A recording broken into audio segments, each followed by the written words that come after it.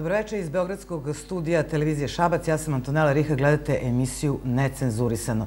Poslednjih dana stigle su pohvale vladi Srbije iz međunarodnih organizacija. Iz IBRD-a smo čuli da je Srbija primer drugim zemljama kako reforme mogu da budu uspešne, a od Međunarodnog monetarnog fonda da su rezultati reformi Vučićeve vlade impresivni.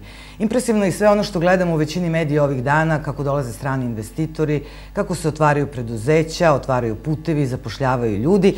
Ipak, kako to da postoji razlika između onoga što čujemo od zvaničnika i od onoga kako živimo? To je tema večerašnje emisije o kojoj razgovaram sa uh, Vladimirom Vukčevićem iz Fiskalnog saveta. Vučkovićem. Vučkovićem, izvinjam se, iz Fiskalnog saveta, sa Danicom uh, Popović, profesorkom na, sa Ekonomskog fakulteta i Mijatom Lakićevićem, zamenikom glavnog urednika Novog magazina. Hvala vam što ste ovdje, gospodine Vučkoviću.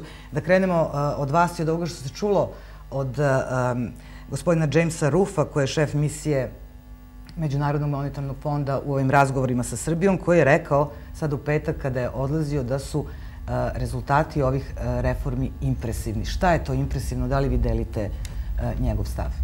Da, pohvalio je delom reforme, ali stavio jednu zapetu pa je rekao šta je ono što nije dobro. Da krenemo od ovog dobrog dela, da, zaslužujemo pohvale za neke urađene stvari i tu je nesumnjivo vlada povukla neke nepopularne poteze. Iz fiskalnog tog dela štednje je bila neophodna, pa je, nažalost, moralo da dođe toga da se smanje zarade u javnom sektoru i penzije. Učinjeni su i neki koraci u popravljanju privrednog ambijenta, izdavanje građevinskih dozvola i sl. Pa je to popravilo našu poziciju na nekim listama konkurentnosti. I to su otprilike neke stvari uz zadržavanje neke makroekonomske stabilnosti, nisku inflaciju, koja je više došla sticajem okolnosti i situacije na međunarodnom tržištu, nego što je to e, neka namera centralne banke bila. E, tako da e, ima tu dobrih rezultata i u ovom delu, nakon te prve godine, može se reći da je to ono što je dobro. Ali kažem, nakon toga ima i drugih stvari od koga presudno zavise. Da, govorit ćemo i o tim primjedbama. E, njih je bilo, mada je meni ova reč impresivno nekako zazvučala i upravo sam htjela da krenemo od tih dobrih rezultata, a nije samo gospodin James e, govorio o njima. Čuli smo to i od Svetske banke, čuli smo i iz Evropske banke za obnovu i razvoj. Je li to hrabruje, profesorka? Ja, nažalost, mislim da ne ohrabruje, ali da isto tako mislim da ova reč impresivno da treba da ostane i da treba i, i ja ne izgovorim. Najpre zbog toga što ovakvu seču plate i penzija, što kaže profesor Vučković, zaista nepopularno krajnje, nije povukao niko do sada. Dakle, koleli smo se da imamo najpismenije vlade, Kleli smo se i ja i dan danas mislim da su prethodne vlade bile obrazovanije i sposobnije, ali nijedan trenutka njima na pamet nije palo da dovedu financije u red. Ono što su oni uradili su u stvari napravili toliku zbrku da smo mi jedva čekali da oni odu. Tako da s te strane gledano jeste impresivno svaka čast. To je trebalo uraditi i uradili su. To je, nažalost, nedovoljno to, nažalost, ako se samo to uradi, a sva je prilika da će samo to biti urađeno, da apsolutno nismo nigde. Da ćemo na izgleda, što je absurd svih absurda, završiti još siromašniji, još razočaraniji i bez jedne jedine reforme. Dakle, ostaćemo negde na sred puta, a da nam je gore, da smo gladniji nego da su nas doterali do grčkog scenarija. Pričat ćemo i o tom putu. Da li vi delite tu ocenu da su rezultati impresivni. Da li je osjećate? Kao ono vicu delim, ali sa dva. E, ne, dobro, e, to jeste uspeh. E, ali, bi stvarno, drugi strane... Šta je konkretno uspeh? Evo, čuli smo od njih. Šta je, što je po vama konkretno? Uspeh je što je deficit, što je fiskalni mhm. deficit smanjen. Znači, on je prošle godine bio negde, valjda, 6,7, a sada je smanjena na 4. Bilo je planirano da bude 5,9 ovaj bruto domaćeg proizvoda, tako da je sad on znači gotovo da je prepolovljen. I to, i to, jeste, to jeste uspeh, ali kako kažem, mnogo toga što je trebalo još da bude urađeno jer ova vlada će skoro navršiti dve godine. I to što je učinjeno u tom nekom roku jeste, jeste dobro, ali još puno stvari je bilo zapravo koje su mogle da budu urađene, a koje nisu. I da, koje, i da podsjetimo i da je četiri godine u stvari ova koalicija na vlasti, ako računamo period od kako je uh, gospodin Aleksandar to je, Vučić. Da, to je, da kažem sad, poseban problem, da. da kažem što te prve dve godine, ajde kažem, Dačićeve vlade ili prve Vučićeve, kako neki vole da je zovu, uh, vladala je Srbijom, rekao bih, potpuno suprotno ono što kažu paradigma. Znači, potpuno suprotno mišljenje o tome šta, šta bi trebalo da se radi. Otprilike, bila je filozofija, trebalo bi da se na krizu odgovori pojačanom državnom potrošnjom, pa da, iz, pa da se onda tako poveća tražnja, pa da se iz toga poveća proizvodnja i tako da ne upadnemo u tu krizu. Problem je samo, bar ja mislim sa Srbijom, bio u tome što je ona taj, taj, taj model ili taj način borbe sa krizom je isprobavala u prethodnih deset godina i već je bila potrošila sve resurse u državnoj potrošnji. Dalje se, dalje se sa tim receptom nije moglo. I ovo što je ova vlada uradila na neki način jeste bilo dobro, sad ona se hvali da je izbegla bankrot, ja, za mene su to da kažem prejake reči, to je previše politike ili političke manipulacije ako hoćete. Znači nije stvar bilo u tome, ja bih čak rekao da je možda ona mogla da krene i neki drugi način, odnosno da krene sa, da odmah krene sa reformom javnog sektora. Nije, nije baš da je moralo ovim putem da se ide. E sad, Ali kad, sad su krenuli, jel? Sad kad, kad, i samo da ovo kažem, sad kad oni kažu impresivno, oni kažu dobro je da ste počeli, pošto oni imaju iskustvo sa Srbijom prethodnih deset godina. I da je to bilo stalno, ono, kreni, stani više, stani nego kreni.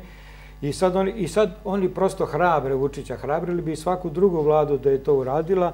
Ajde, kad ste već krenuli, nastavite tako, valjda će na kraju biti urađeno i ovo što se profesor Capopović misli, boji da neće, da neće biti. Dakle, to je više neka vrsta onako podrške i ohrabrenja nego što je to zaista, e, da kažem, prava, e, prava pouzdana ocena i procena I MMF je postao i Svetska banka, to su onako malo političke ovaj, organizacije, ne malo nego malo mnogo, ja?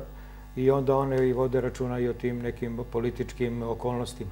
A da li je uh, ohrabrenje premijeru Vučiću i to što će ta četvrta uh, revizija aranžmana ostati otvorena do, uh, do kraja izbora, kako je, kako je rečeno?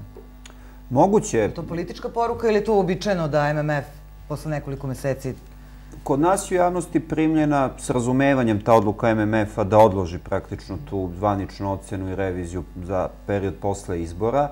Nije moralo tako da bude. MMF je mogao sada već mnogo strože da gleda na nešto što prilikom prethodne revizije što je obećano, a nije ispunjeno. očigledno da su oni tu odluku odložili, što, kažem, jeste na neki način prihvatljivo, ali nije bilo obavezno. Pa, tako da možemo da prihvatimo da je to odlaganje znak podrške, ne mešanja u, u aktualnu političku situaciju.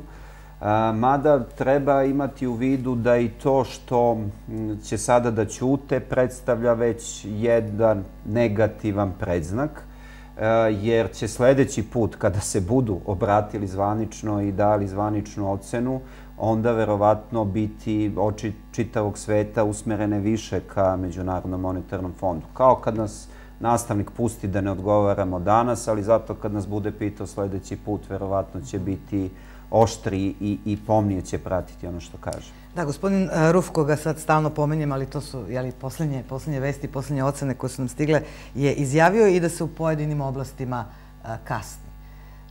I otprilike je negde naveo, to se mnogo manje čulo od ovog impresivno, gde se to, gde se to kasni, šta je to što, što je, možete, bilo ko od vas?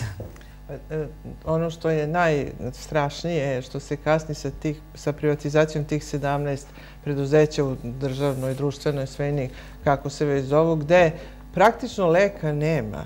I to svi znamo već verovatno 17 godina, oni koji prate kao Mijat i Vladimir znaju to barem 20 godina pre toga, da tu nikada niko nije ni pomišljao da će se tu naći zaista neko rešenje i dakle da to se mora zatvoriti, da ti radnici moraju da se, da se zaposle negde druge. Problem je ogroman. Glavni na listi MMF-a su dakle Bori i Resavica sa po 4.500 radnika u NIS-u zahtevaju velike reforme, naravno i traže otpuštanja u javnom sektoru. Pa sad vi zamislite... Da, tu je elektroprivreda Srbije gas. EPS, da, da. EPS, da. Da, rekla si nisam, ali... E, ja se izvinjam, dobro. Ne, nis, čak misle, da, da, da, misle da, da stoje mnogo, mnogo bolje nego što... Ali kad pogledate sve to, to znači vi imate iz državne kase pare za do, za, jel tako, otpremnine za sve ove ljude, jednokratno izdavanje, ali ogromno, ali nije to problem. Problem je što pre toga ti moraš da napraviš ambijent da ti ljudi nađu negde posao. Ne radi se samo o tome da im daš jednokratno otpremninu i da kažeš, e sad, vi ste za mene... A to ključ problema zašto ta privatizacija nije, nije do kraja Pa ne, Zašto je čekamo problem je zato što vi nemate nova radna mesta koja bi se otvarala u, jednoj slob, u jednom slobodnom ambijentu. Izgubim posao na nekoj strani, počnem da vozim taksi, otvorim neku malu radnju, bilo čega, kozmet... Sad, da, da ne maštam, svako bi našao nešto, ali sada to jednostavno nije moguće. Prepreke su tolike da će ti ljudi najverovatnije s tim platama da odu na more, ko što su svi s otpremninama odlazili fino na letovanje i zimovanje, još se zadužili, kupili auto i kada to prođe, mi ćemo imati glad. I to je, to je sad. A ako ti vidiš makar na šest meseci do desetu napred, kao političar, i bit ćeš sa tih 10 meseci još uvek na vlasti, tebi se uopšte ne sviđa šta ćeš videti 11. meseca. I, I oni se na to teško odlučuju. Nisu napravili ambijent za otvaranje novih radnih mesta, ovi će da ostanu bez posla i oni tu nemaju rešenja. Oni će pokušati da odlože svaku od tih zatvaranja koliko god budu mogli, pravit će se ludi, tražit će ustupke, radit će, uzimat će penzionerima, smenjivat će plate u javnom se razumeti, radit će sve živo da ne bi ih taj problem dočekao i naravno će ih dočekati u goroj, što odlažu svaki dan, što odlažu da kreiraju ambijent, sve u gorom stanju će ih zateći taj problem, ali to su izabrali i to tako izgleda. Da, ali onda se nameće logično pitanje da li je to onda jedino rešenje ili, ili, ili smo toliko odmakli u tim, da tako kažem, u to, tim reformama u tom pravcu da nema nazad. Nismo odmakli. Nismo nigde, nismo nigde, dobro. bilo bi dobro, bilo bi dobro da jesmo odmakli, ali tih 17 preduzeća ili bilo ih je 500. Jeste. Hajde da kažem, ovo je možda vladi, ovo je treba odati priznanje za to što je od tih 500 i nešto preduzeća, da kažem, kako tako rešila ovih e, skoro 480 i što je ostalo sad ovih 17, zapravo, a ja mislim da je sad ostalo još samo 11 ovih i ostalo je do, do kraja prošle godine je to rešeno si ova neka velika, mada u suštini nisu rešeno.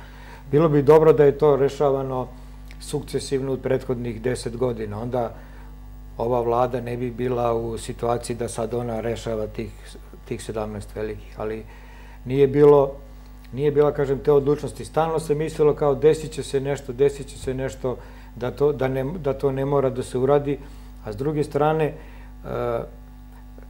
kada brinete stalno o lošima, vi zapravo onda ne brinete o dobrima, odnosno ne brinete, ne gledate da napravite stvarno neki ambijent, da, gleda, da vidite, da pustite ljude da rade, nego se stalno prave neki monopol. Evo uzmemo taksiste, ako je to, ovde stalno taksisti strajkuju u Beogradu, ja ne znam zašto, kaže, zašto oni strajkuju. Strajkuju protiv konkurencije, je tako? A možda bi, e, tu bi moglo da se zaposli još nekoliko stotina ljudi ili možda nekoliko hiljada. Po drugim mestima takođe. Bilo bi, bilo bi drugih poslova. Ima delatnosti u Srbiji u kojima postoji manjak zaposlenih. Ali, da kažem, to se, to se ne radi. I sad ostalo je, dakle, to je to je sad, sad veliki zalogaj za ovu vladu, kao što je bio za svaku drugu, da do 31. maja se konačno reši šta će biti Bor je, ovaj, sad je to moguće Bor sad u sred izbora da se, da se rešava tako pa nešto? Pa to nije sad, neće se ni rešiti do, mm do sred izbora, znači ovo, pošto će Ali to je rok. 31. maja rok, znači ima mesec dana. Rok, ovo je 15. rok isti, tako da ako 15 puta niste uradili na vreme, vi stvarno nemate ni posljedice ni 16. Mislim, Verovatno neće sve pa od toga, pošto ja vidim da ova Resavica, ti ovaj, ljudnici ubilo sa podzemnom eksploatacijom, da, par po onome što priča ministar energetike, ko zna, možda se to promeni kad bude formirana nova vlada, ali to Ako izgleda mogu... da neće biti ovaj, A biće Pomalo, evo, ekskluzivno u vašoj emisiji, pošto za sredu Fiskalni savjet sprema imat ćemo nastup, konferenciju za štampu sa novim izveštajem, nas je upravo zaintrigirala ova, ovaj podatak zvanični da je od 550 preduzeća koji su ostali za privatizaciju ostalo 10 najvećih. Bilo je 17, pa su pred kraj godine nešto gurnuli u stečaj sistem prve petoletke i sad je ostalo 11 preduzeća. Hteli smo da vidimo da li je baš to tako i ako je tako koliko ovih 11 košta državu kada bi preživjeli. Ono što je zanimljivo je kada se na osnovu podataka koje smo dobili iz, agenciju za, iz Agencije za privatizaciju, kada se napravi malo preciznija podela, vidi se zapravo da je rešeno tek oko 300 preduzeća, gde pod rešenim statusom mislimo na stečaj ili privatizaciju a da je oko 250 preduzeća na ovaj ili onaj način još uvek pod državnim okriljem. Dakle, to baš odstupa od onoga što smo svi mislili da je ostalo samo desetak preduzeća. A kad kažete pod državnim okriljem, što to e, da, znači? pomoć države ili šta? To su sad različite grupe, mhm. različite i dovijanja, rekao bih. Imate jednu grupu vodoprivrednih preduzeća, manjih na lokalnom nivou, koje su pripojena e, državnim javnim preduzećima. I kao to smo skinuli sa dnevnog reda, ali ne onako kao što je trebalo i kao što smo mislili kroz tečaj ili privatizaciju, nego praktično podržavljenjem samo u drugom sistemu. Imamo neka preduzeća na Kosovo i Metohiji koja će se rešavati po brislavskom sporosu. Dobro za to i da imamo razumevanje. Ali to povećava onaj broj preduzeća koja nisu rešena. Ima još nekih specifičnih grupa u kojima, u kojima rade invalidi, ima preduzeća od kojih se za sada praktično odustaje od privatizacije. Ili imate PKB Galeniku, koja su zvanično skinuta sa liste, kao da su rešena, a za njih je praktično tek objavljen poziv za prodaju preduzeća. Šta će biti ako se ne prodaju? Tako da, da, ovih 11 preduzeća najvećih jeste najveća koska, najveći problem, ali praktično mi smo kroz ovaj proces privatizacije dobili još veću državu još veći broj državnih da, preduzeća. Ali, ali da ne pričamo znači... tako, uh, uh, kažete 11 preduzeća, koliko je to ljudi? Da, u ovih 11 preostalih blizu 20.000 ljudi, 18-19.000 ljudi, tu su najveći Bori i Resavica. I to jeste, naravno, problem i ekonomski i socijalni. I u tom smislu treba imati razumevanja da taj, taj posao ide najteže, ali zaista smo svi zajedno kao poreski obveznici imali dovoljno razumevanja. Da vas podsjetim, ta preduzeća se zovu u restrukturiranju, mada profesor Mađar kaže da je pravilnije u prestrukturiranju, jer to znači promenu. Šta to znači? Da su ona pre gotovo 20 godina stavljena u taj status kako bi se promenila, kako bi postala atraktivnija. A ona su sve više tonula i vukla javne financije države na dole i sad se u posljednje dve godine tri puta se odlagao taj rok za privatizaciju ili stečaj i sad opet treba svi da imamo razumevanja. Njihov godišnji trošak, samo ovih 11 preduzeća, je oko 300 miliona evra.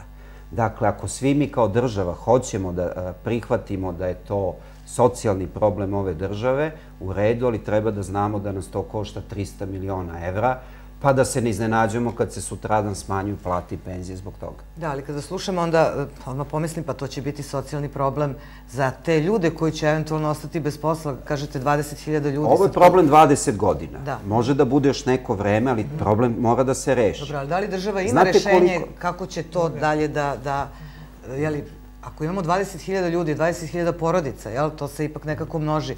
A šta sa njima? Ima li država plan? Da, evo jedna prosta računica. Koliko godišnje država da, direktno, indirektno, za Bor i Resavicu, to je oko 10-11 hiljada evra po radniku. Znači, samo za jednu godinu. Da je pre tri godine neko rekao, ovim ljudima ćemo isplatiti 20-30 hiljada evra po čoveku.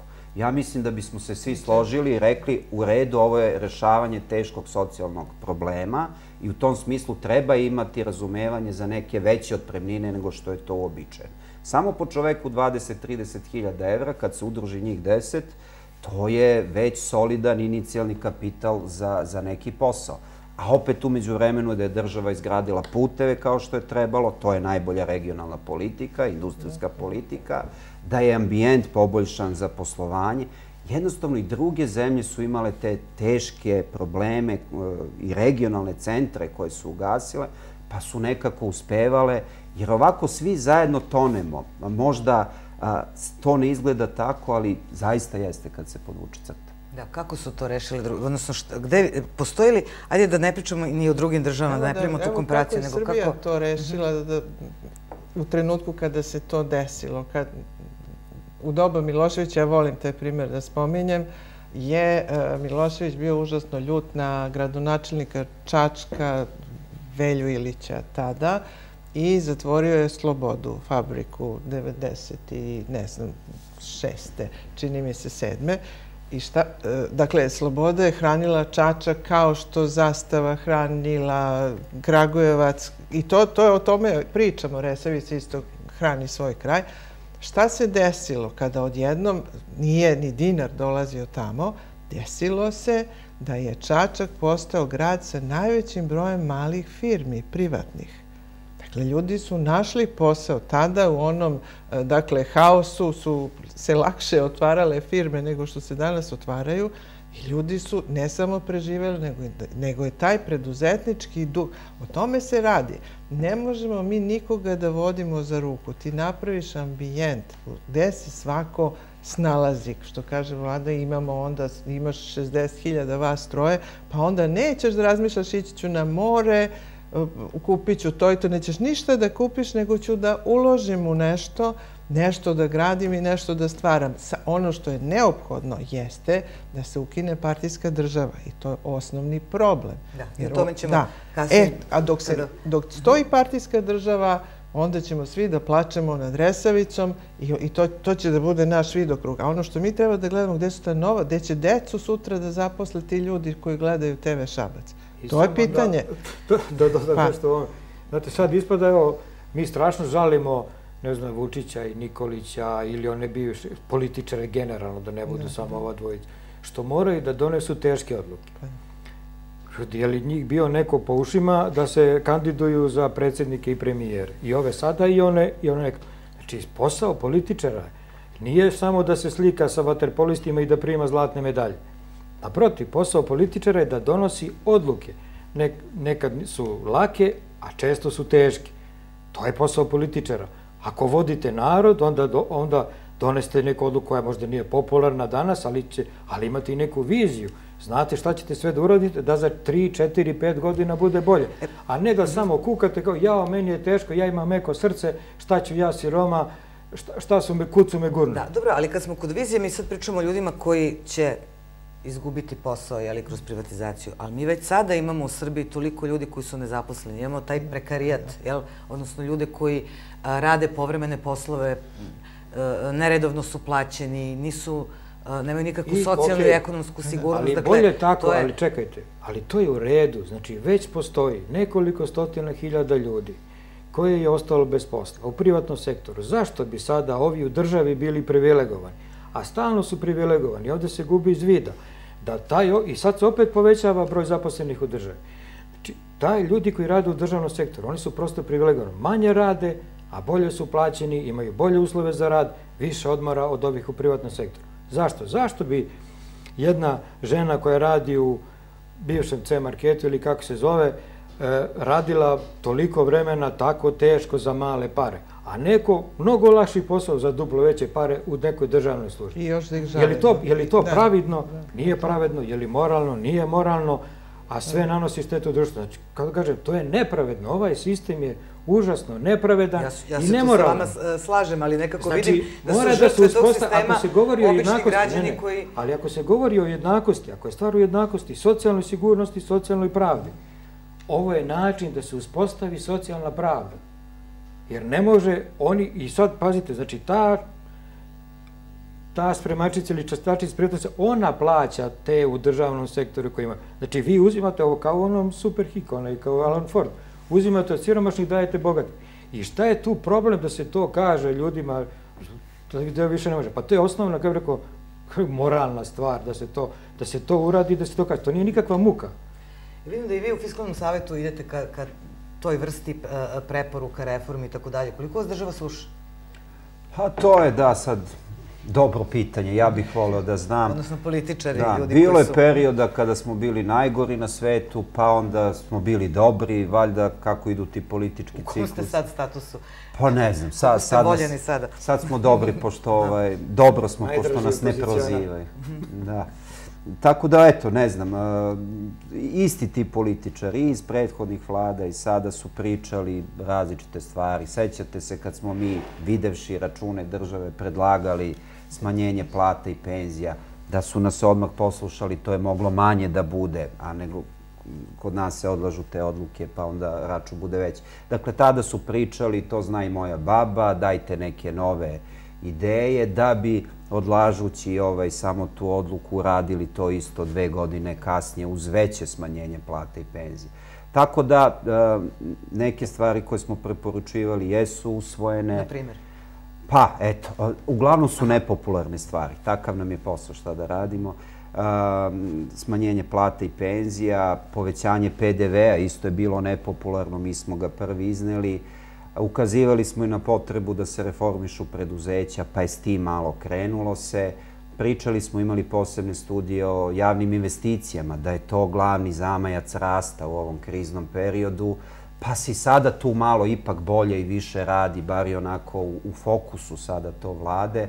Tako da čini mi se da nekako se probije ta poruka i Fiskalnog saveta i ekonomista, nismo mi izmišljali toplu vodu, to je nešto što se vidi, što su uglavnom i druge države radile, samo bilo bi dobro da političari ipak brže reaguju na vreme, a ne da odlažu te nepopularne stvari, jer je trošak u svakom smislu manji kada se pre povuče proces. Čime niste zadovoljni da bar znamo šta nas čeka? Gde vas nisu, recimo, poslušali? Je li ima takvih primjera da, da je bilo mislim, ova vlada sadašnja... Pa evo, ovaj, ovaj aktualni... Mada ova vlada nekako, ajde da se na njih fokusiramo, jer trenutno... Da je li su oni odgovorni za ono kako živimo trenutno?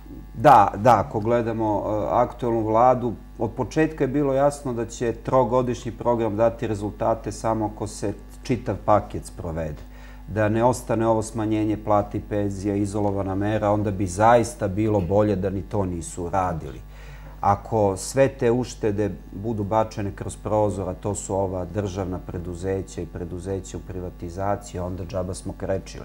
Tako da eh, od početka insistiramo na tome da da uporedu štednju, da ide ovaj deo javnih investicija, izgradnja puteva, energetike, jer je to višestruko dobro za državu, a i da se eh, radi s reformom preduzeća, to su i otpuštanje u tim preduzećima, ali mnoge druge stvari, da cene dođu na realni nivo, da se vidi kakva je organizacijona struktura, ko, ko je direktor, kakve su odgovornosti i veliki broj e, preporuka. Tu se za sada kaska preduzeća i investicije a ovaj prvi deo je manje više dobro urađen, tako da evo, čeka se na taj paket jednostavno. A da li je to uh, jedini model? To vas pitam zato što, do duše neko od nas čini se da ste uh, vi uh, vodići ekonomisti, da kod nas svi nekako složni u načinu kako treba da se jeli, te reforme izvedu i tako dalje, ali mi vidimo u drugim zemljama, vidimo neke teoretičare koji misle drugačije, da, da taj, aj tako kažem, liberalni model ili neoliberalni nije jedini mogući koji je uh, uspešan. Zašto kod nas se ne postoji taj raspon razmišljenja i eventualnih odluka? U svim zemljama u tranziciji, kada su ušli u probleme, nije bilo dileme da se mora ići na odricanje. Dakle, nije štednja. Štednja je kad neko uloži novac da bi ga uvećao, nego je ovo odricanje, ovo oduzimanje od tekuće potrošnje. Tako su sve zemlje radile i sve su izašle iz krize od Litvanije, sada da, da ne ređem. To, to su jedini primjeri i vi u tim zemljama na ključnim mestima nemate nijedno relevantno mišljenje koje koje je bilo protiv. Takva mišljenja to zagovaraju Paul Krugman i Joseph Stiglitz i koji nisu niti na vlasti više, a kada je Joseph Stiglitz bio u Svetskoj banci, trebalo je da čujete koliko je to bilo kao da nije taj čovek uopšte, potpuno je suprotno pričao od ovog danas, kao i Paul Krugman što je pričao pred 5-6 godina, potpuno različito od ovog što priča danas. Ta mišljenja koja se javljaju o novoj levici, dakle, e, one filozofski nisu utemeljene. One se ne zasnivaju na tome da oni pošteno hoće neki sasvim novi sistem koji bi imao pravdu. Oni žele sve da zadrže kako jeste, e, u raspodeli da se oni umešaju. Dakle, da ja sad sedim i da razmišljam, pa mnogo je ovom direktoru da ima 150.000, a ne, njemu 100. E, o tome, to je ta nova levica. Ta nova levica ne kaže ne treba kapitalizam, ne treba efikasnost, ne treba konkurencija. Ne, ne, sve se zadržava i žele ovo. I zato su to sve živi promašaje. Ali ima politički, o tome treba sad razmisliti. Politički imamo dva uspešna modela u svetu. Veoma uspešna. Jedan jeste liberalni, Amerika, Australija, Novi Zeland, Kanada, koji kaže mi nećemo velike poreze, mi želimo da zadržimo sve pare koje zaradimo, koliko ću ja zdravstvu da plaćam, šta se koga tiče, to ću ja da odlučim sama, vi sami. I tu je privredni rast ogroman i sve u redu. Druga vrsta zemalja, kao što su nordijske, one kažu, a ne, ne, ne, tu mi hoćemo veliku socijalnu pravdu. Mi hoćemo da svako ko se razboli dobije vrhunsku negu. Hoćemo obrazovanje za svako dete da bude vrhunsko. E, ali to se plaća kroz jako velike poreze. Ja volim da pominjem stalno primer da je, da je porez na automobil novi u Norveškoj 120 Znači, kad kupite auto od 10.000, vi platite 22.000 evra umesto 10, od čega 10 ide prodavcu tog automobila, a 12.000 u državnu kasu. Odakle se plaća ta to obrazovanje i to zdravstvo i te potrebe. Kada njih pitate koji su glasali za te mere, naravno ja sam pitala sa ironijom, haha, kod vas, koliki je porez, oni kažu pa da. Naravno, dakle, e, nekako mora do naroda da dople. Može, i sa malim porezima, ali onda nemaš ništa, onda nema zdravstvo, nemaš školstvo, plaćaš iz džepa. A može i ovako, ali onda te košta automobil 22.000 umesto 10. Znači, možeš da biraš. I oba modela funkcionišu odlično, ogromne imaju stope raste i jako su uspešni. Zastaćemo ovde da. za trenutak pa se vraćamo srpskom modelu. Marketing Radio Televizije Šabac. Telefon 015 353 263.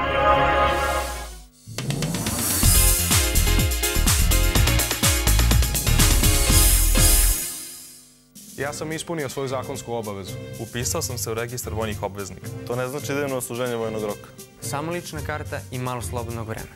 Prijavi se i ti.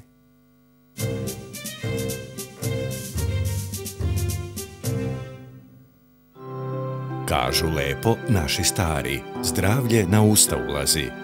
A kada popusti imunitet, tu je prirodni saveznik, matični mleč. Vaša dnevna doza zdravlja, Revita. Mi proizvodimo najkvalitetniju vodu za piće po najnižim cenama u Srbiji. O kvalitetu vode brinu naši stručnjaci i stručnjaci Zavoda za javno zdravlje. Jedini smo vodovod gde priključak dobijate bez učešća uz beskamatno kreditiranje na tri godine. O razvoju i budućnosti brine naš tim inženjera. Uvodimo najnovije svetske tehnologije u pričišćavanje otpadnih voda kako bi obezbedili budućnost i održivi razvoj našeg grada. 79 godina u službi građana i privrede Šapca. Vodovod Šabac. Seobe i druga knjiga Seoba u jednoj knjizi. Remek delo srpske i svetske književnosti. Istorijska freska u kojoj se pojedinačne sudbine uzdižu iznad kolektivnog života jednog naroda. Svevremena knjiga, temelj svake kućne biblioteke. Miloš Crnjanski i vaša Laguna. Knjiga Kazna za greh, noć kada su došli svatovi, dobila je svoj nastavak. Roman o ljubavi, iskušenjima i veri. Autorke najčitanijih knjiga u Srbiji. Oda životu koji prkosi sudbini. Knjiga uspomena Jelena Bačić-Alimpić i vaša Laguna. Hemijsko čišćenje i vešeraj Elio. Hemijsko čišćenje, pranje, peglanje i dostava odeće po najpovoljnim cenama u gradu. Korišćenjem usluga servisa Elio pomažete ranjive kategorije stanovništva. Servis Elio, Šabac, Cara Dušana 48, telefon 015 342 201. I Cerska broj 19, Trkalište, telefon 060 3065 465. Po meri vaših potreba i mogućnosti. Hemijsko čišćenje i vešeraj Elio. DigiPro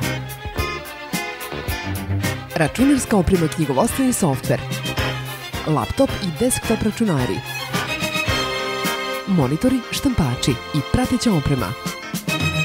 Najpovoljniji knjigovostani softver za evidenciju malih i srednjih preduzeća DigiPro.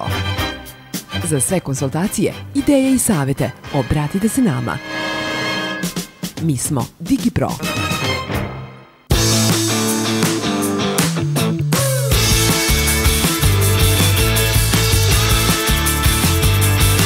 Vitanova, žitarice i voće, energija koja pokreće, pionir.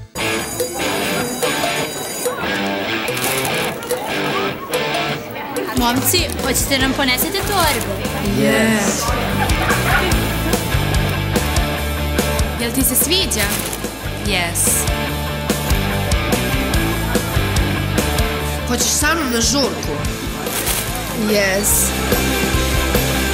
Kažite yes! Yes! Flipskome moraš da kažeš yes! Ne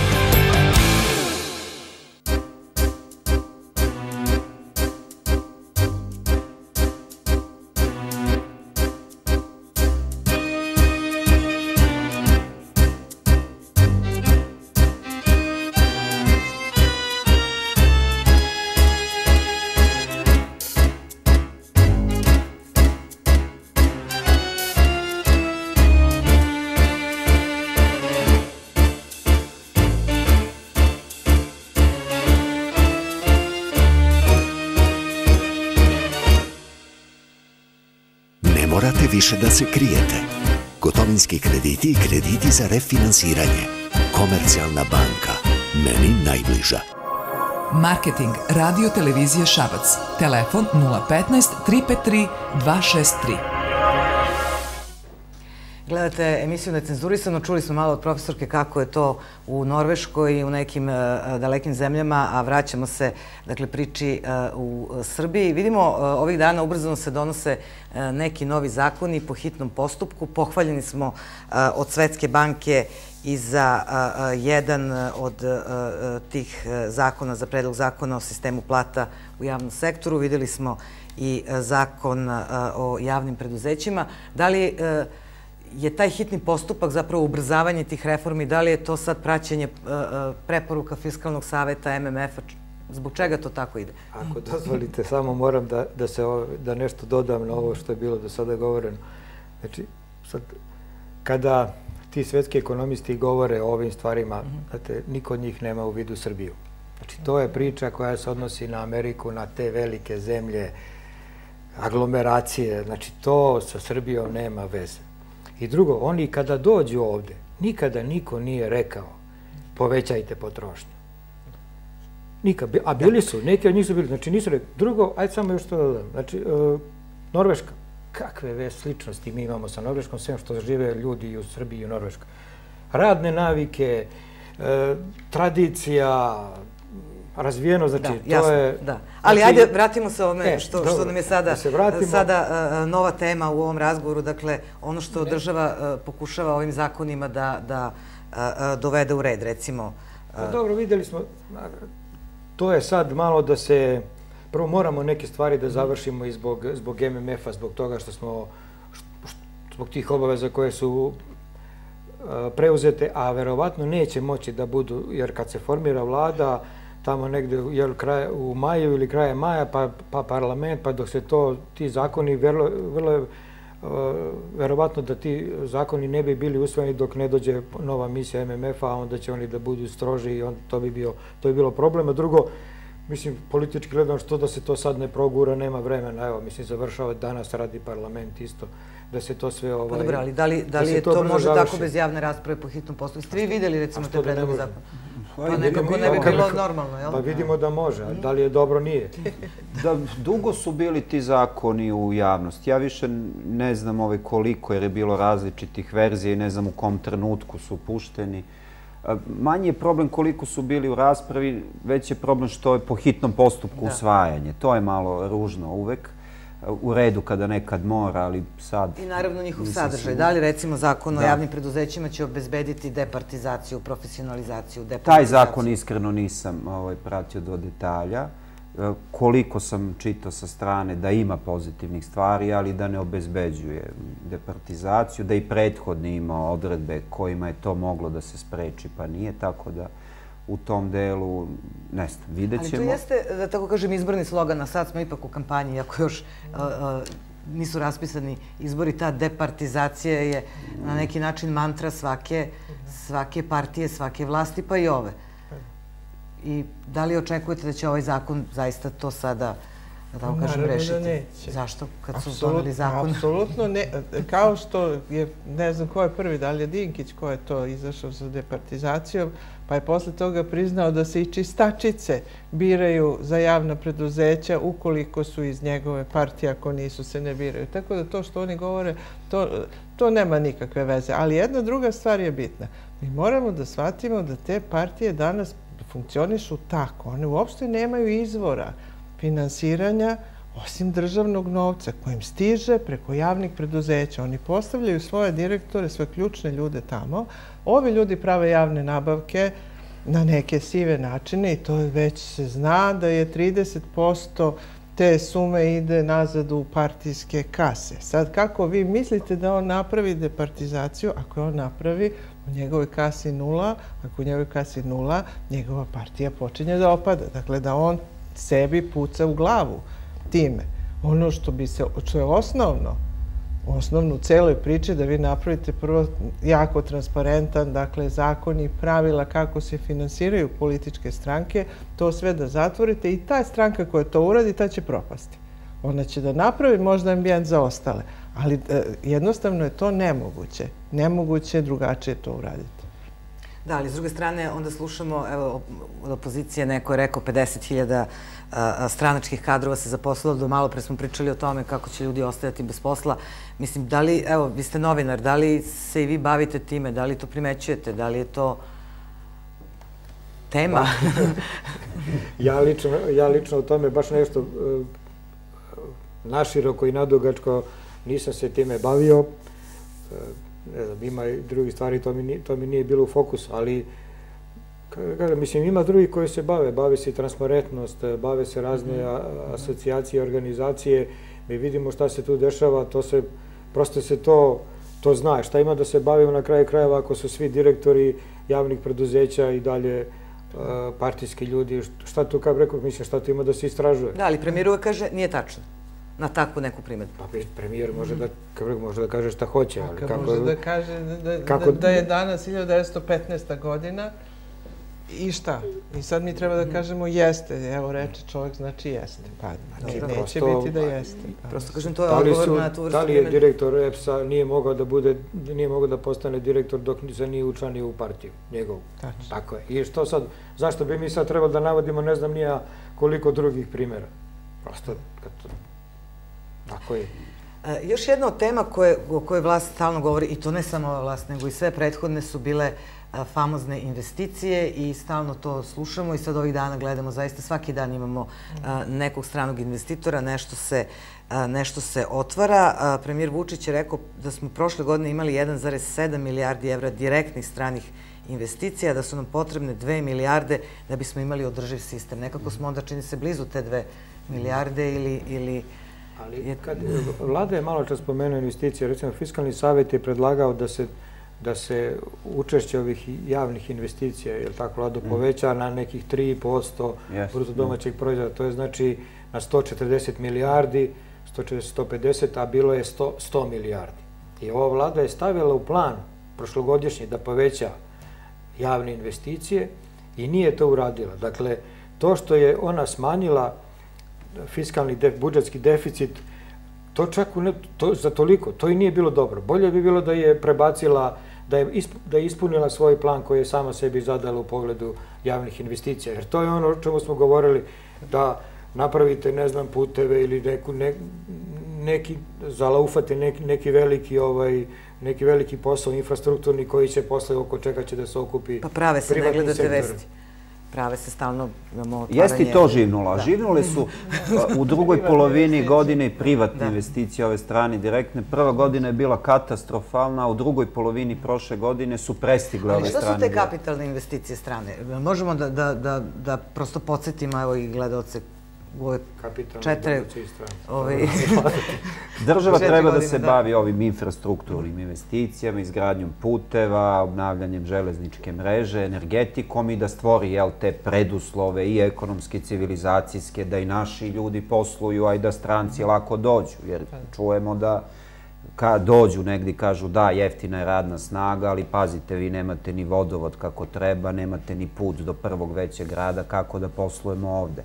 Tako da država treba da stvori te infrastrukturne uslove, a onda investicije da krenu ove, u izgradnju. Jel? Najbolje bi bilo od temelja one Greenfield investicije da se naprave i fabrike sa dimnjacima i tržni centri, i da se krene od nule. To je i dotok svežeg novca, što je dobro, pristižu devize i smanjujemo potrebu. Ali to stalno slušamo. Znači, pa dobro, da. Zašto, e sad, pazite, mi kao ekonomisti e, sve te priče proveravamo kroz podatke, je li tako? Ja ne mogu i ne znamo da gledamo dnevnik i da zapisujemo sad tu je stigla investicija, toliko je vredna i ne znamo koliko i da li su došle pare.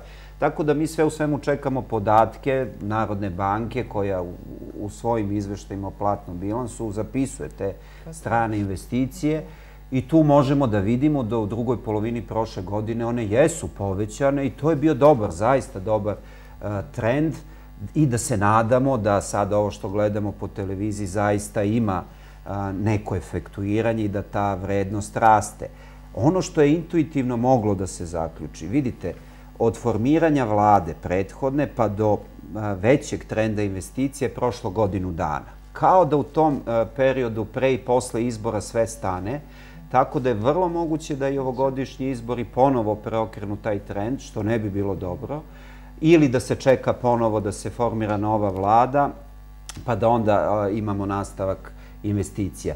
Znate uvek da u ovom predizbornom e, periodu imamo više potpisivanje nekih neobavezujućih memoranduma nego što imamo čvrste ugovore o investicijama. Pa to je ono što gledamo kad sam pomenula vesti, to je nešto što gledamo stalno. To su lepi predznaci, ali nije sigurno. Da, ali recimo imamo evo situaciju sa Železarom Smederevo gde odjednom se isprečila Evropska komisija i sad treba da čekamo njih da vidimo da li Kinezi mogu da tu da ovaj, uđu ili ne. Zbog čega je to nastala takva situacija, kad se jednom u nekom trenutku učinilo da je sve to rešeno? Pa, postoji jedan veliki problem. E, kada smo krenuli ka Evropskoj uniji, jedna dobra stvar se za Srbiju desila, da je firmama koje žele da posluju u tom ambijentu zabranjeno da dobijaju subvencije. Kinezi po svojoj nekoj unutrašnjoj filozofiji su na tako poslovanje navikli i oni žele da nastave tako ponašanje. Ukoliko ih ne budu dobijali, sa padom cene čelika i u ovom ambijentu oni mogu samo da ostvare gubitak i da, da ništa ne urade. Dakle, ako nije mogao US Steel, ako nije mogao niko, neće moći ni kinezi. Dakle, to je nemoguće, nemoguće. To je kao zombi da, da, da, da počne da trče. Znači, moraš da mu dodaš krvi, ne znam, svega ako Evropska komisija se isprečila ispred e, železara, nije ispred Bora, Bor još uvek dobije subvencije svašta se provlači, ali izgleda da mi izvozimo čelik baš na tržište Evropske unije i da oni ne žele da tu bude bilo kakvih prekršaja. E sad Kinezi, ako budu bili prisiljeni da bez subvencija funkcionišu, oni kad izračunaju vidjet će da je gubitak toliki i toliki. U Kini se zatvaraju železare svaki dan zbog niske cene čelika, I meni bi bilo stvarno iznenađenje da se tu nešto desi, a potpisujem da je nemoguće da posluju pozitivno bez subvencija. Potpisujem, evo, pečat. Vi ste imali jedan zanimljiv tekst e, o, o našoj saradnji e, ekonomskoj sa e, Rusijom. I ovih dana se toliko priča, i ne samo ovih dana, ali stalno imamo tu neku podelu jeli, istog zapad na koju stranu politički da se okrenemo. Ali kada govorimo o tom ekonomskom momentu, Malo se govori o, o Rusiji, odnosno stali smo kod energetike i dalje nema ničega, iako se po Srbiji otvaraju kancelarije za saradnju sa Rusijom. Jel? Šta, su, šta ste vi u, tom, u toj analizi... Pa da, bilo je pre, pre neki dan je otvorena kancelarija za saradnju sa Rusijom u Užicu, a prošle godine otvorena u Čajetini, jer pa su čak i ovi ere pitali, misli, pa što, šta će na dve kancelarije na 30 km? Pa možda će neka ruska investicija tu da stigne, dakle, ali se znam. To je, pa da je stigla, ja nemam ništa protiv da stigne, samo što kao što nisam imao ni protiv Južnog toka, samo što ne stiže, tako, mislim, to je, to je problem što imamo puno običanja. Uh, problem sa, sa Rusijom je u tome što što je Rusija s jedne strane to velika, velika zemlja, ima veliko tržište, nije lako na to tržište ući. Sad, e, kada je došlo do ovog rata, sa, ekonomskog rata sa, sa Zapadom, sa Amerikom i sa, e, sa Evropskom unijom, mi smo u jednom trenutku to iskoristili, pa, pa je jako povećan izvoz mesa, međutim, onda su se dosetili i ovi drugi, jel, i Nemci i Brazilci, pa su onda oni ponudili još kvalitetnije i jeftinije meso, iako sad stiže ko zna odakle. Znači, na to su reagovali drugi. I kad su tamo došli ovaj, drugi sa jeftinijim mesom, onda su Rusi kupili od njih. Znači, A nikako ja naš fijet da, uzmu, da. Pa, znači, da. oni ljudi kupuju ono što, kažem, što, ono što, im, što im treba, odnosno što je jeftinije. Imamo neke, ovaj, neke mogućnosti u tom voću i povrću, ali mi imamo, da kažem sad, neku pogrešnu politiku. Znači, To može, ali to je, kako to je malo. To je, mi da, smo u principu... Ali Rusi u Srbiji, otprilike, kad govorimo o tim investicijama, o njihovom kapitalu ovde, očigledno, bar ne zanima u posljednje vreme nešto specijalno, jel? Pa ne, Rusi su sad, oni, o, oni su bili malo krenuli kad su im bile one dobre mm. godine, kad je cena nafte bila visoka, sada je, sada su, sada je Rusija sama u ogromnoj krizi, zbog tog pada cena mm. nafte, oni tu gube, to su nešto sam ja i računao, sad sam zaboravio, to su stotine milijardi da. evra godišnje. Rusija je sad u ogromnom problemu i oni moraju da se, ne, prosto, kako kažem, nema novca za te ozbiljne investicije. Dobro, pitam vas to je zbog toga da, da neki način demistifikujemo tu, tu priču koja je, koja je stalna nema, oko... Ru, uh, Rusija je u spoljnoj trgovini Srbije učestvuje sa oko 9, sa oko 9-10%, recimo u, u izvozu, izvozu još i manje. Tako, to je prosto prirodno, nije to, nije to, krvno, nije to ništa, nije to ništa ni nepredno. Prvo trgujete sa susjetima, trgujete sa onima s kojima imate tehnološke veze. To je to ovde ljudi neće da shvate. Ne trgujemo mi sa Nemačkom ili sa Italijom najviše zato što oni nas ili mi njih vole, nego zato što preduzeća sarađuju.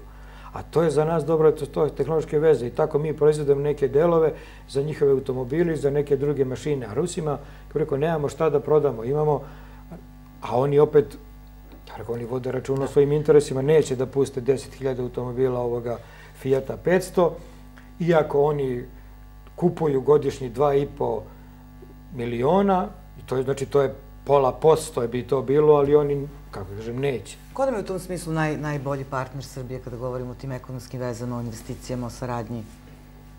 Evropska unija. Mi smo na njih naslovljeni geografski, i po tradiciji, ovo što mi je spomenuo, firme su čak i u socijalizmu prilično sarađivale i izvozile, tako da mi, mi smo sudbinski na tu stranu orijentisani ukoliko želimo sebi dobro. Ja se slažem da treba gajiti veze sa Rusima. Treba otvoriti pa ko dođe, kome se isplati. Arabske zemlje su sad, jeli, ulaze sa Beograd na vodi, na primjer, i... Da. dobro.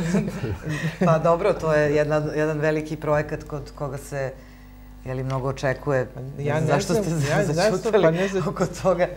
Ja, ja, ja samo mis, evo, poručujem gledalcima, upitajte se šta će da izvozi Beograd na vodi.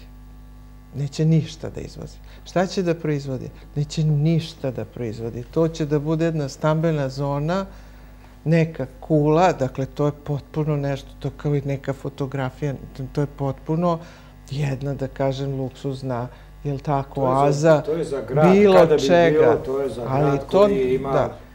30.000 evra po stanovniku. Pa ne, ali ja ne vidim šta je tu spektakularno s jedne strane, a s druge strane ne vidim ja ni dinara dobiti ni za grad, ni za bilo koga ovde, osim tih građevinskih firmi koje će to da izgrade i da odu na neko drugo gradilište. To mi liči na onu priču o Mercedesu, o njegovom dolasku velikom i celo to i da posle nekoliko godina tu priču zameni neka druga i to prođe, tako da ne vidim, ne vidim da. ja tu ništa. Mi ćemo sigurno još puno takvih priča da. slušati u narednih uh, mesec dana, odnosno do tog kraja aprila kada će, uh, kako se očekuje, biti, uh, biti raspisani izbori. Zbog tih izbora će biti i rebalans budžeta, to je, to je najavio a, a, ministar finansija govoreći da je to jedna sitna stvar u odnosu na ono što Prošle ćemo godine dobiti. nije bio rebalans, a, a razlike su bile, mislim, ogro- ogromne u odnosu na ono što je planirano. Do, to je, mislim, to je sa tim rebalansom oko zbog izbora, to je šala. Mislite da je to zaista komarac? Pa naravno, mislim, to je apsolutno nepotrebno ni Mhm. na kraju krajeva. Što sad? Ima do kraja godine, ko zna šta se može desiti. Verovatno se misli nakon formiranja vlade, jel, kad Da. imamo i drugačiju hirarhiju ministarstava i kad mora praktično Da, i rekao da će rebalans. koštati manje od milijardu dinara ovaj cela ta... Pa dobro, ali da, oni, da, a, a da su to oni to dali iz svog džepa, ja bih rekla, pa fino, dobro ste prošli. Ali oni daju to iz džepa penzionera, kojima će morati i dalje da budu smanjene plate ili ograničene, baš zbog tih njihovih milijardu. Dakle, to neće da padne s neba, nego će to neko od nas da plati. Da, to je e novi sad, trošak samo budžetu. milijardu, pa to je zaista kao da se hvali koliko je sam uštedeo od svojih rođenih troškova. I to nije baš, nije fair. Nije... Ali možemo li samo jednu stvar, čini mi se da je onako, da je važno da ljudi znaju. Dakle, sa, o investicijama se radi. Dakle, naše investicije su ovde od- otprilike prošle godine su bile oko 17% bruto domaćeg proizvoda. To bi bilo oko 5 milijardi evra, recimo. A nama bi trebalo da budu duplo veće. Znači, nama bi trebalo da budu 10 milijardi evra jer, ili da budu 7-8 Pa da. da, bi, da bismo imali razvoj koji nam je potreban od onih 4-5% što je premijer Vučić govorio da ćemo da imamo već od iduće godine, što kao rekao, prosto nema, nema teorije da toliko bude, ali znači toliko treba da budu investicije. 7-8 milijardi evra najmanje da bismo imali tih 4-5 i toliko su imale zemlje poput Slovenije, Slovačke, Poljske i te koje su, kada su se brzo razvijale, gotovo sve tranzicione zemlje. Ok, e, ja se opet e, vraćam na kampanju. Verovatno će to biti tema neke od e, stranaka u nekom trenutku kada budu jeli, nudile svoj ekonomski program, ali recimo meni je zanimljivo... To bi bilo lepo, ali ono što ne vidim da E, se stranke to, biju da. da, Da li- da, da li- izađu sa, tim, sa takvim nekim Mhm, programom. mhm. Da li prepoznajete među političkim partijama sada neke koji imaju vrlo jasnu neku ideju koja je ostvariva? Ja ne. Ne mislim da se svrstavate u odnosu Da, na da, stranke, da. nego Pa koliko je ekonomija tema ekonom, sada. kada- ja sam Da. i prošli put rekao, pa je to bilo malo kontroverzno, da gledano iz ugla ekonomije, da bi bilo katastrofalno kada bi opozicione stranke ostvarile ono što sada pričaju, kada bi došle na vlast. Da, da je bolje da ne dolaze na vlast ako misle da rade to što pričaju. Zato što su to nerealni programi gde vi u prvoj tački možete da vidite smanjenje poreza, a u petoj povećanje penzija. Pa ja mi za to ne može više ni deci da A se gde ste to bili u kom programu? Pa ne bih da navodim stvarno, ali video sam, nije važno. A imate, često to možete da, da sretnete. Tako da nekih ideja ima. Parcijalno mi možemo da pričamo ovaj deo, pije vodu, održiv je, ali kao celina zaista nisam video ni jedan, ne samo sada, to je praktično pred svake izbore tako, zaokružen program da vi kažete, e, ovo je ozbiljno, održivo, ima je- smisla i tako. Što je govorila Dana na samom početku, znači, gotovo sve što danas opozicione stranke i ove koje su sada na vlasti kad su bile u opoziciji isto su govorile, znači svi govore više države. Znači mi ćemo da damo pare za ovo, mi ćemo da damo pare za ono. Znači kad opozicija danas, ili, ali partije u suštini generalno, oni samo obećavaju pare. Nema ko, kome neće pomoći i seljacima, i radnicima, i poštenoj inteligenciji. Dakle, svi su tu na spisku i svi će da dobiju pare ako oni budu... Ja mi, kao rekao, to je, i to je ono što, da kažem, ne valja. Znači, što posle, ovaj, vi možda prevarite jel, birače u jednom, u jednom krugu ili kažete ko će za nas da glasa ako mi obećamo reforme i težak život, jer niko za nas neće da glasa, ali s vremenom bi tako stekli, da kažem, kredibilitet. Znali bi ljudi šta od vas da očekuju. Onda bi mogli da vas drže za, za reč ako dođete na vlast. Kaže, ok, ti si to rekao, radi to, sad Ja dao mislite sam da ti ovde iko šansu. zapamti kad je Ja ta- mislim, ja mislim da zapamte. Za, i, I to što zapam, da, da pamte, zato je demokratska stranka prošla tako na izborima, zato što su ljudi zapamtili. Kaže, nemojte više da nas, da nas lažete, da niti da nas plašite da ovi neće u Evropu. Ne, i sad će i ovi deo da nas vode u Evropu, pa ćemo za njih da glasamo. Dobro, ako vam se ne dopadaju programi opozicijalnih stranaka... Još ih nismo ni vidjeli. Pa, Ono dobro, ali ono što, ono što se čuje, koliko, koliko verujete u ono što je premijer Vučić prognozirao, a to je najpre rekao 2016. a sada 2017. da će biti ta godina kada ćemo osetiti neko poboljšanje, kada će e, doći do rasta bruto društvenog dohodka, bit će veći od 2% i tako dalje. Dakle, 2017. godinu je naznačio kao tu godinu kada ćemo, recimo, imati prosečnu platu od 500 evra. Jel verujete to? Pa to bi moglo kad bi ovaj oborio kurs. Onda bi moglo, mislim, matematički to može da se izvede. Dobro, ali ajmo iskustveno. Ali ovako... Matematički, pa ajmo iskustveno. Pa ne može. Ima jedna stvar. E, ne bi bilo dobro ni da bude. Kada, kada ozbiljna vlast preuzme fotelje, kad, pre, kad se preuzme vlast, U prvoj godini vlasti i drugoj se prave najteži potezi, najgori, poput ovog smanjenja groznog plata i penzija koje je moralo, ali istovremeno, što kaže profesor Vučković, to je moralo da ide u paketu sa strukturnim reformama, sa investicijama i tako dalje. Ta bi godina bila za nas, verovatno isto teška, možda nešto lakše ako bi bilo investicije i novih radnih mesta. U drugoj godini se sprovode nešto lakše mere, kao sada što je Vučić rekao, neće više biti smanjenja. U trećoj i četvrtoj godini, kad se radi kako se zapoveda, onda se popušta, onda se više, sve ide više na populističke mere. Na kraju četvrte godine su izbori. Kad vlada kupi kajmak treć, krajem treće i početkom četvrte godine. I onda to izgleda tako. I da, si, da je sve urađeno u prvoj godini mandata, ti stvarno u trećoj imaš značajno povećanje i u četvrtoj onda pumpaš, jel tako, i pevaš pesme biračima. I, i, I tako izgleda, zato je mandat od četiri ili od pet godina. Niko na svetu nema mandat dve godine i obećava šta će biti treći. Treći će da bude, pitaj Boga šta će biti treći. Pitaj Boga kako će biti sad rezultati. Ko će sve ući u vladu, koja će sve opet koalicija se napravi. Zato što sad ide jedna velika neizvesnost. Da je bilo od prve godine paket, pa druge odricanje takođe, na kraju četvrte je moglo da se desi da bude značajno povećanje. Nebitno šta je rekao premijer i koliko bi bilo, ali bi bilo značajno. Ali ovako kad vodiš priču, onda nema ništa ni od značajnog, ni od povećanja. Ima samo neizvesnost. A da, očigledno političari imaju potrebu da stalno obećavaju da će brzo biti bolje. Moguće da to moraju da rade, mada sam ja uveren da, da je premijer Vučić zadržao onaj deo svoje priče da će biti teško, da, pa da. da mu ne bi popularnost toliko opala, možda ja to naivno mislim kao što, kao što se on očigledno boji pa onda stavlja ove zaslađivače stalno. Tako da i meni se čini da ljudi to čuju i registruju i da, da im se negde to gomila i da ne može da prođe bez troška, da, da se taj politički kapital troši.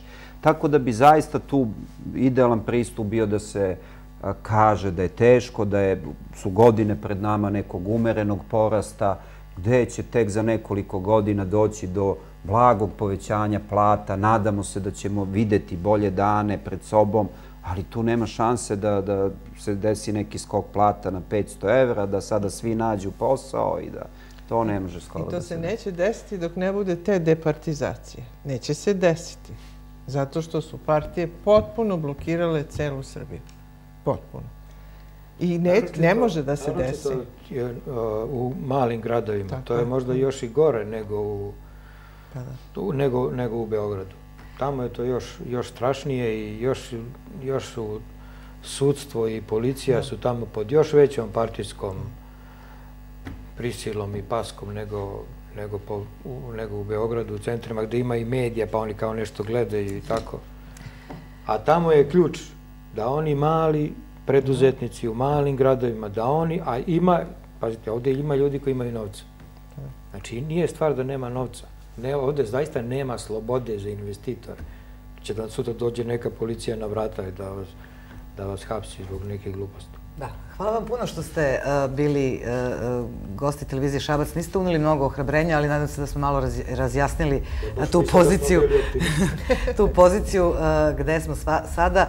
Hvala i vama, poštovani gledalci, što ste bili uz nas. Vidimo se za nedelju dana u isto vreme.